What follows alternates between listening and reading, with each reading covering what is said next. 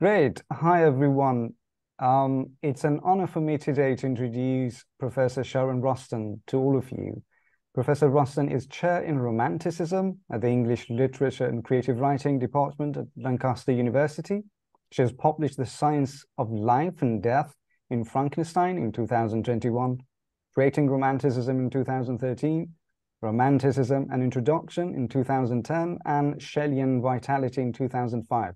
She co-edited the collected letters of Sir Humphry Davy for Oxford University Press in 2020 and currently leads the AHRC funded project to transcribe all the all of the Davy's notebooks, which sounds a very ambitious and fascinating project.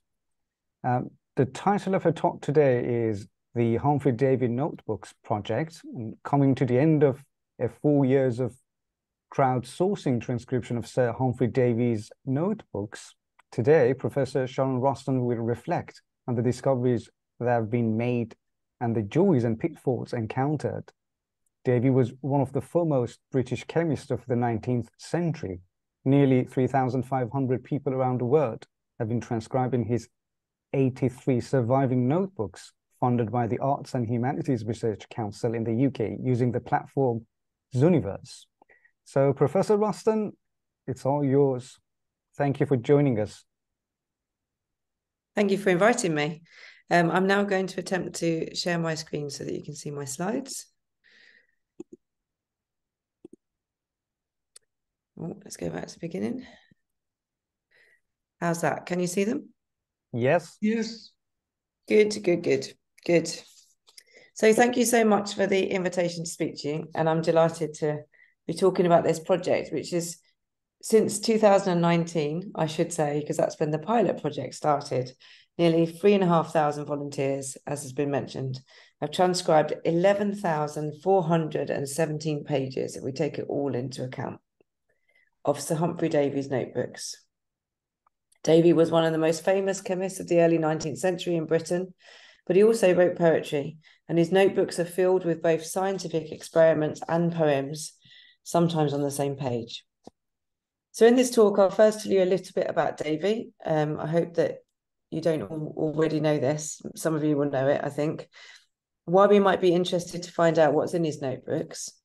And then we'll discuss the notebooks in more detail, plus presenting some of the recent discoveries that we've made on the project. And finally, I'll tell you a little bit about the project and how we've gone about it. And I'd like to take this moment particularly to acknowledge the other members of the project team um, particularly research associates Dr. Eleanor Bird, Dr. Andrew Lacey, and Dr. Alexis Wolf. And the many thousands of volunteers, of whom we have one here, known to me as Deha, um, who is here with us, and uh, who all of those people have helped me to write this paper um, because there are things in here that uh, that they I identified, and also Andrew Lacey also helped me with some of the slides as well, particularly the the kind of technical ones. So Humphry Davy, here he is. Born in 1778 in Penzance, he came from relatively humble origins and was initially apprenticed to be an apothecary. But these plans changed when, as a precocious young lad, he showed a real talent for chemistry. He was appointed to superintend the new medical institute at Clifton in Bristol two months before his 20th birthday, so very young, and there he became the first person to inhale nitrous oxide. At the time, nitrous oxide was believed to be fatal if breathed. So this gives you a bit of a glimpse into the kind of man that he was. Um, and uh, you know, breaking news in the UK, nitrous oxide on the 8th of November, it became a criminal offence to possess nitrous oxide. So there's a very up to date kind of uh, glimpse into how it's thought of now. Uh, the Pneumatic Institute in Bristol was run by a rather infamous man who was a thorn in the government's side because he was in the favour of the sentiments of the French Revolution. This is Thomas Beddoes here. And he had married one of the novelist Maria Edgeworth's sisters. Um, so it's a quite an interdisciplinary household, a very busy household with friends who shared their political views, um, who also joined together to try this new wonder drug, nitrous oxide. And this is a cartoon uh, from 1829 showing some poets writing verse under the influence of nitrous oxide. In this youthful period, Davy seems to have been quite the radical in his politics, and this changed very much as he got older. It was an early notebook that first caught my interest when I was doing my PhD many years ago, and it contained for the era inflammatory notes on materialism. Writing in 1797, a 19 year old Davy puts forward the materialist case that the thinking powers depend upon organization. These notebooks are a maze of crossings out, pages cut out, and additional supportive or angry conflicting comments. Davy clearly read them again later in life when his views were very different. And it's fascinating to see how his ideas change and develop. So you can really see that in the notebooks. So even in this notebook, he notices later um, these observations were written at 16 and a half years what a revolution, in my opinion, since that time, now 19 years. So he feels himself that he's really changed in that time. Despite what we would he would later claim, it's apparent at this point in his life, during this time at Bristol, that he was a materialist. The notebook shows that he believed that the mind depended on, upon the brain. And his vitriolic denunciation of Christian dogmatism in these pages is particularly re- re- revealing. Tracing the idea of a soul back to ancient Egypt, Davy accuses crafty priests of inventing the concept so that they might make men more subservient to their ends. The next passage reads like the words of a radical materialist and atheist. Prejudice should never lead us to believe theories which are absurd and contrary to common sense. The body is a finely tuned machine.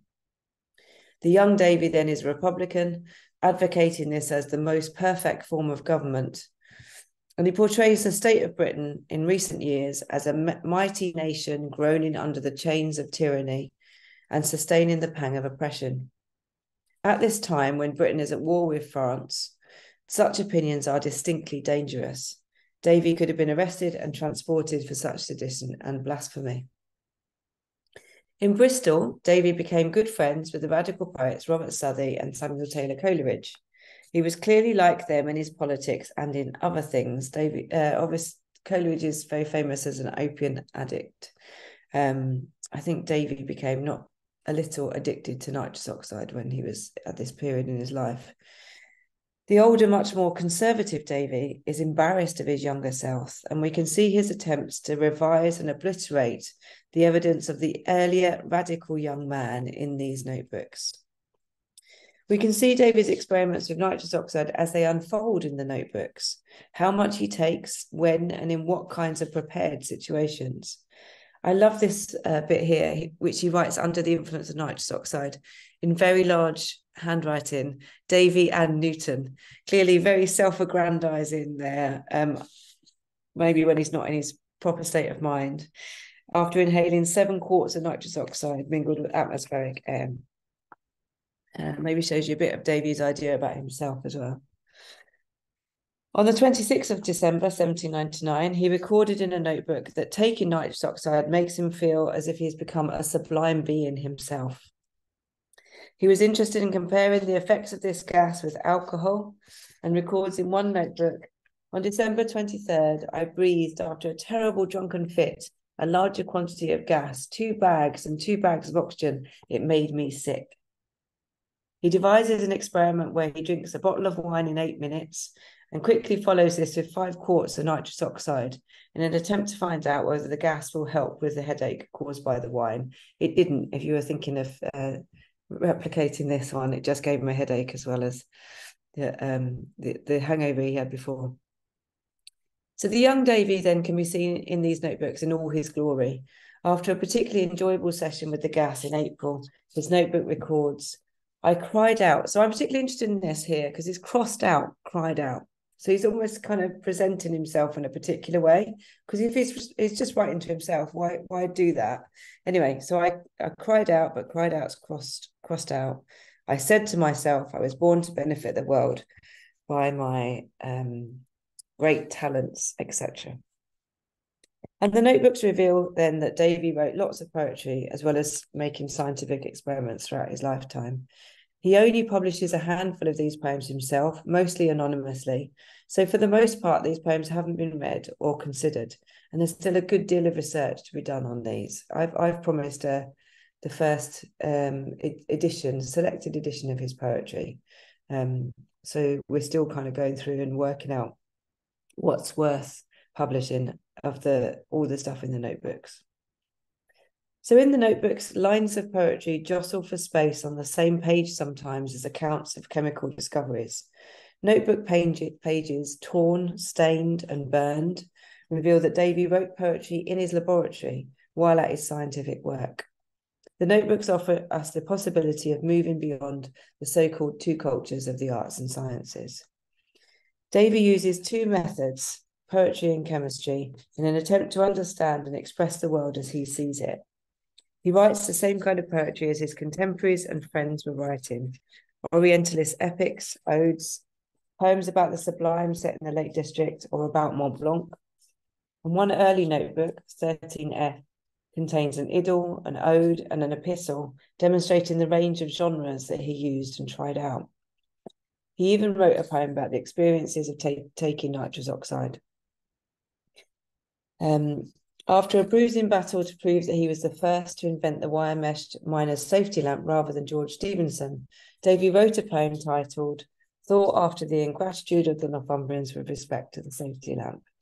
So I'm interested in why he chooses to write poetry, how it allows him, I think, greater emotional freedom to express himself than that formal uh, published scientific writing. Davy's notebooks allow us to see the man himself, his thought processes, character portraits of his eminent scientific contemporaries, his to do lists, his shopping lists, lists of his reading, and his private, undiluted opinions. So Davy is credited with the isolation of more chemical elements than any other person has isolated before or since, including some very famous ones. He did this work at the Royal Institution of Great Britain in this very imposing building which still stands on Albemarle Street in London. He used the new science of electrochemistry to isolate elements such as potassium, sodium, chlorine, magnesium, barium, and boron. When he first isolated potassium, his cousin Edmund, then working as a lab assistant, reported that he actually danced about the room in ecstatic delight, and that Davy needed some time to compose himself sufficiently in order to continue his experiment. So we found the actual pages then that where these experiments took place. Um, there are some 20 pages of notes on these experiments in Lab Notebook 6. And in the middle of these accounts, of these experiments is an address which has been traced to George Lynn, a tailor. So the research associates who worked on the notebooks have speculated that Davy wanted a new outfit for his prestigious Bakerian lecture that was coming up, where he would announce these discoveries. We learned from notebook entries at the time that Davy experimented with the names sodarcium and potassium and sodogen and potagen, um, before kind of alighting on the names that we know now. At the Royal Institution, Davy became known as a charismatic and popular lecturer, one of the first and most successful scientific communicators of our time. And many middle class women attended these lectures, which is quite unusual. The notebooks contain many of Davy's lecture notes, and these have the potential for us to recreate the experience of being there in his audience as he spoke. So Coleridge, for example, attended Davy's lectures in order, he said, to increase his stock of metaphors for his poems. And Davy's bombastic rhetoric in these lectures can be found almost word for word in the lectures of Professor Waldman in Mary Shelley's Frankenstein. So I've got much more on the connections between Frankenstein and uh, Davy in the book that came out in 2021. Here's a shameless plug for that book um, the life, the science of life and death in Frankenstein. Um, I very much believe that uh, Davy is the model for Victor Frankenstein in in the book. Um, as Richard Holmes, I'm not the only person to say that. As Richard Holmes told us in his book Age of Wonder, Davy's lectures were so popular that Albemarle Street became the first one-way street in London because carriages had such trouble getting to the to the uh, venue for on the nights of his lectures. While most of Davy's notebooks were private and personal, there are a few that are not. The lab- laboratory notebooks kept at the Royal Institution, such as Notebook 07, is very much a public object. It was not, not, in fact, ever supposed to leave the laboratory. Its role is to record the experiments that have taken place in the lab each day. These experiments might be continued over many days and weeks and be taken over by different people. So they kind of, you know, people will just say what's happened that day and then someone will continue it. And apparently this practice still goes on now in labs. Um, they're very large books, these ones. So they this lab notebook 07 contains many different hands and it runs to nearly 700 pages. So it's a gigantic thing. Davy, who didn't always play by the rules, I think you all know that by now, used to borrow these lab books and take them back to his rooms. As this later note, written by Davy's one time laboratory assistant, a certain Michael Faraday, makes clear, Davy was in the habit of taking the notebooks away and continuing to work on the data produced in them at his leisure. This resulted in some of the notebooks not being returned to the lab until 1829 with this note.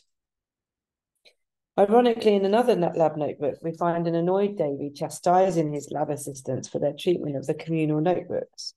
In this entry for September 13th, 1809, he tells his co workers that cleanliness, neatness, and regularity are the most prized objects in the Royal Institution lab. And he proceeds to write that pen, ink, and paper must not be kept in the slovenly manner in which they are usually, and he bemoans the state of the pen and ink that he's using. Um, but you can see on the page that this has got terrible smudges of ink on this page. And that might confirm his claim, perhaps. But given that it's on the page, presumably after he's written it, um, the, the, the Davy Notebook project team have wondered whether the lab assistants paid no attention to what he was saying, or uh, there's different, we could read it all different ways. Um, but these lab notebooks then were supposed to be located in a specific place and not to be moved. And they tell us then a lot about the circumstances in which Davy worked and lived. But some of Davy's notebooks are intensely and intimately private, presumably intended for the writer alone to read. And as with all handwritten manuscripts, it's the crossings out, the insertions, the corrections that often reveal more than the author themselves perhaps intended to reveal. It's intriguing to read someone else's notebooks, especially when there is material present that may not have been intended for anyone else's eyes. You can get a real sense of the person, I think, their interests, their hopes, fears, day to day life, and plans for the future. Excuse me. On page 24 of notebook 13D, Davy uses his notebook, as we all do, to plan his working day. Whether he achieved this ambitious level of industry is not known. He writes Resolution to work two hours with pen before breakfast on the child of crossed out, lover of nature or the feelings of Eldon from six till eight, from nine till two in experiments, from, uh, from four till four to six reading, 7 till 10 metaphysical system, i.e., system of the universe. Quite the day he's got set out here. This resolution reveals a number of interesting things, primarily perhaps that his poem was important to him, but it's also less important to him than the work of the main part of the day, admittedly that for which he's being paid, which is his scientific experiments. Other people have suggested that maybe writing the poem first in the morning before breakfast that might be the best time that you have for writing and maybe that's the thing he wants to he enjoys the most and that's why he's put it that way. So there are different interpretations of of that page but um, whether he actually managed to do all these things in a, in a one day i don't know. The notebooks sometimes have one particular focus with, whatever Davy's working on at that time. We've got lots of notebooks on agricultural chemistry, for example, but others have a huge mix of topics and kinds of writing within them. So, for example, 15S has the usual mix of poetry and lots of other things. There are scientific experiments, but there are also quotations. So, lots of Francis Bacon in this one, but also John Milton and others. Classical and mythological references, Cicero, a reference to Orpheus, and contemporary scientific references, So William Nicholson, for example, an entry in the encyclopedia is mentioned. In 15F, again, Davy notes that he needs to write to Lord and Lady Beaumont. They were the patrons of Wordsworth and Coleridge. He mentions various geological theories, such as the Plutonian, Neptunian, and the Huttonian theories. And there are lists of monies owed to various people. Some, I guess, we'll never identify. Um, but yes, often lists of, of figures that he's working out his private finances as well. While he uses this notebook mainly in 1805, he returns to it again in 1822 when he's trying to draft his speech as president of the Royal Society. So that's interesting as well. There's there's different um, later Davy using the notebook again. There are intriguing references to politics here to the Prime Minister William Pitt. Pitt's public part's the greatest.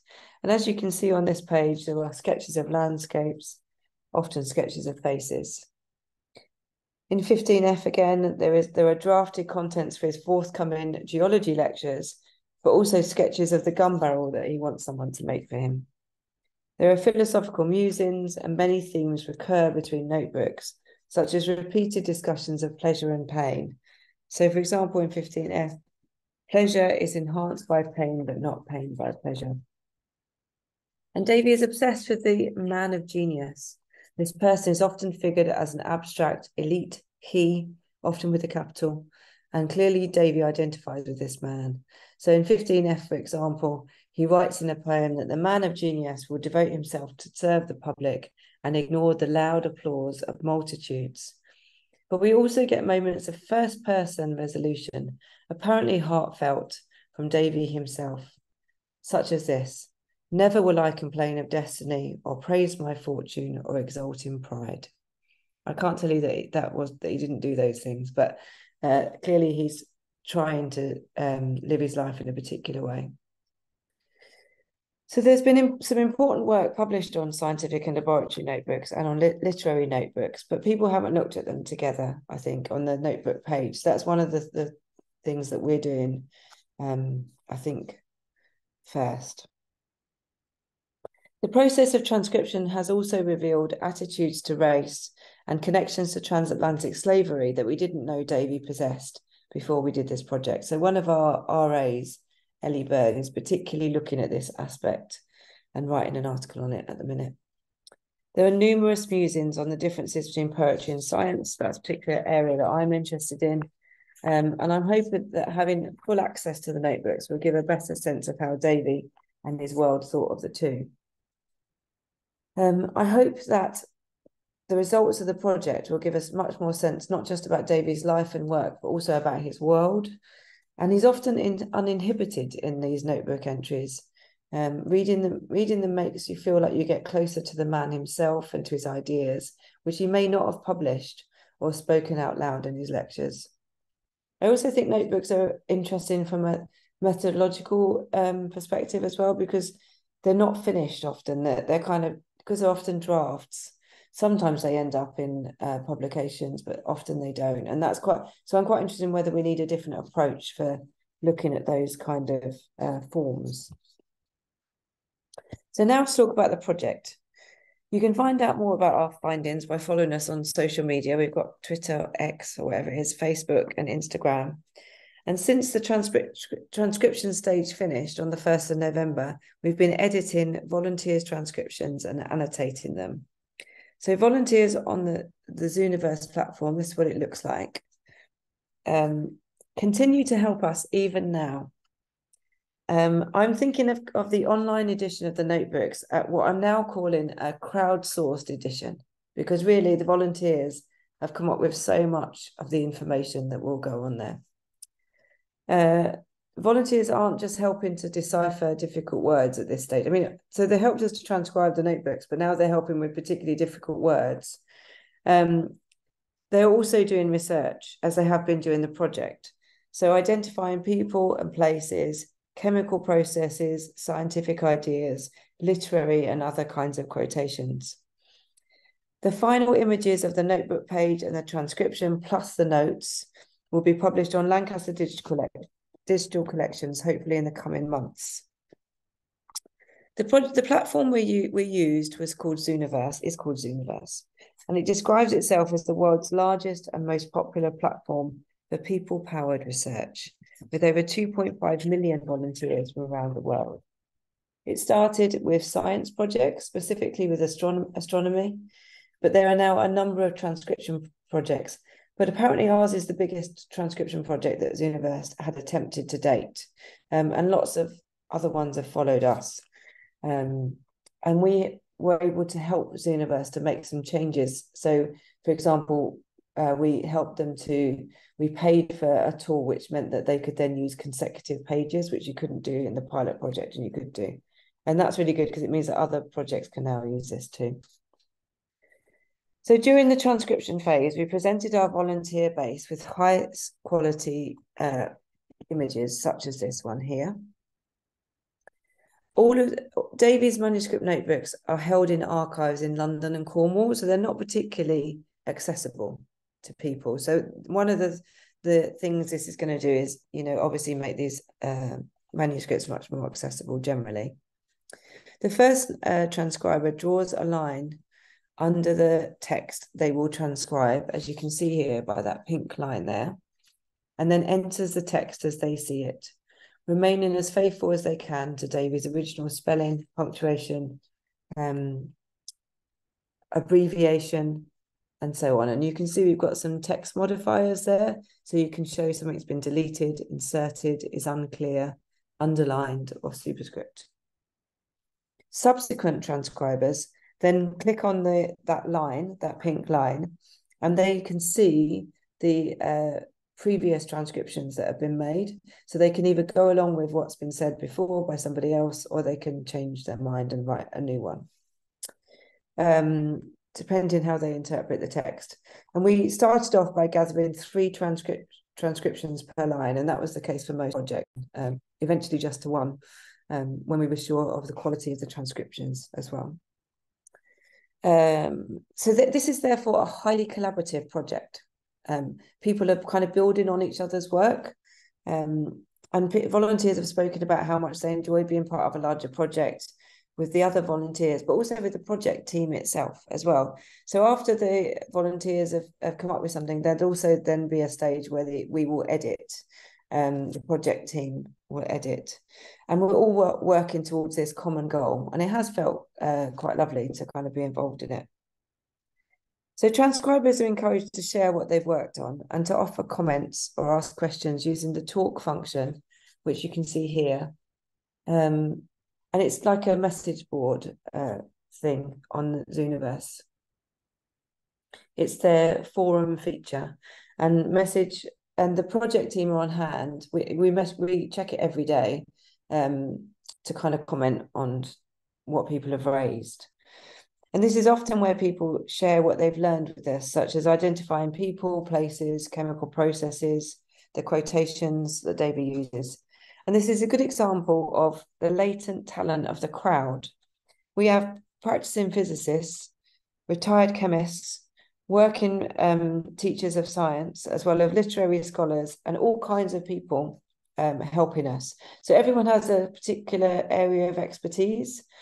Um, not only do our volunteers provide us with a very sound base text for editing and enriching, but they also directly feed into our interpretation of Davy's text, which from feedback we've gathered so far seems to be as genuinely satisfying for them as it is for us.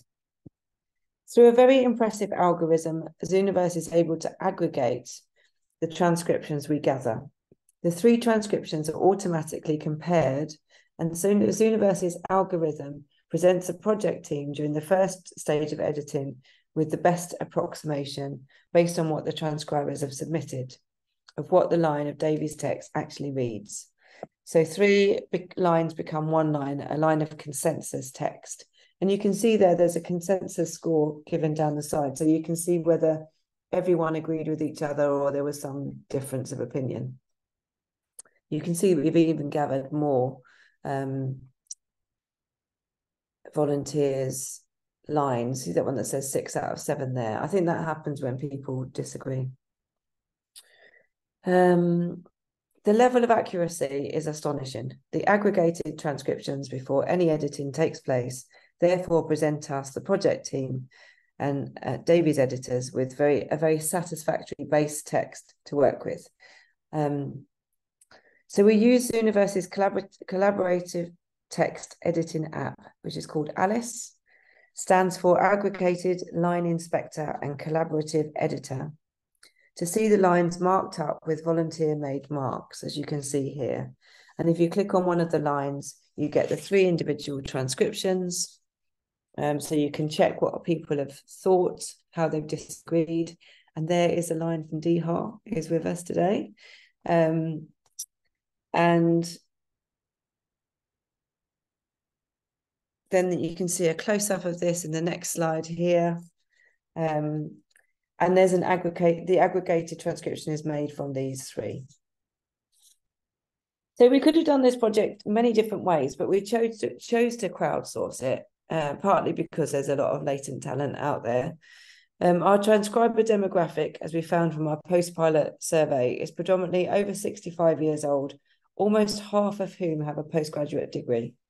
We have teachers, medical professionals, librarians, civil servants, industrial chemists, and more contributing to the project. Each transcriber obviously brings their own particular skill and experience set um, to the project. In the last few weeks, volunteers have been helping me, even today, with Davy's Greek, Latin, Italian, phonetically transcribed German, which is incredibly difficult, um, Slovenian as well, his biblical references, references to Plato's works, as well as archaic chemical terms that are not used today at all, and truly astonishing reading skills. Sometimes these things that I, the stuff I was looking at today had pencil that had been written upside down by a pen over leaf and it was in french and it was you know it was, it was very difficult stuff. Um, there are of course some ethical implications to consider in making good use of the transcriber community. Our transcribers put in a huge amount of time and effort in transcribing these occasionally difficult notebooks. And you shouldn't approach crowdsourcing as a something for nothing approach in fact, Zooniverse explicitly prohibits this. There has to be a mutually rewarding offer to volunteers. So our project team are a regular presence on talk, providing feedback and encouragement on the work that the transcribers have done. We have held fairly regular transcriber meetup events where our volunteers have the chance to discuss their work with the project team and with other volunteers. All transcribers will also, of course, be acknowledged when the digital edition is published. We've had the results of our um, transcription survey now um, at the end of the project, and it's very heartwarming. Lots of the comments are, are, quite lovely. So people talk about how the project helped them with loneliness during the pandemic. We started in the pandemic in 2020. Uh, people being housebound because of health reasons and how being part of something important has been genuinely thrilling for them. And I can't underestimate that it's also thrilling for us. So one of my favourite bits is the volunteer collaboration stuff. It just has been lovely. And I hadn't realised how fulfilling that would be, I think. Volunteers have spent hours with us each day and continue to help us on a daily basis as we edit and annotate. Um, two of the volunteers, one of which is who is with us today, even learned how to use Alice and are helping to edit the notebooks in these final stages. Another key benefit of crowdsourcing obviously relates to scale. Many hands make light work, as the saying goes. And obviously, having this many people transcribe this many pages makes the load much lighter. It just couldn't have been done by me and the project team, this project, because it's just it's just enormous um, how big we were trying to do. So a crowdsourcing project can, if managed correctly, have massive processing power. And because it's a global platform so people are coming uh, to the project from all over it's kind of always on. So you know you get uh, contribution throughout the my night um, and in the morning there's always more stuff. So we have transcribers from across the globe. Um, and finally the last thing um, on why to crowdsource crowdsource collaborative transcription produces higher quality results than individual transcription um, this is Sam Blickhan's research. Um, she's one of the um, advised co-investigators on the project. So the very last bit I want to show you is just very quickly uh, one of my favorite bits in the notebooks. We had this in one of the notebooks and there was nothing written on it. And one of our volunteers took a look at this and I and they noticed the bridge, I suppose, as well. And they identified it as Carrick Reed in Northern Ireland. And you know, we might have got there. And actually there's evidence to back this up in the notebook itself. Um, so yes, I'll leave you there that lovely picture. Um, there is evidence in the notebook to back this up, so we could we could say 100 percent this is definitely right. But I mean, it also looks like it as well, doesn't it? But they just, you know, that was a work of a minute, which might have taken us, I don't know, could it, we may never have got there, I suppose, as well.